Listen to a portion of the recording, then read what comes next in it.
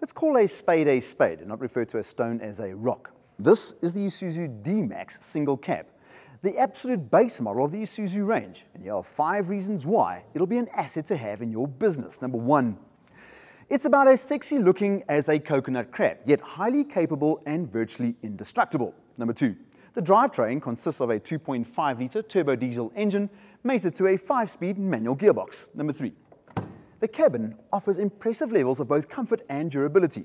Besides the heater and uh, cigarette lighter, there's not much else going on in here and therefore not much can go wrong.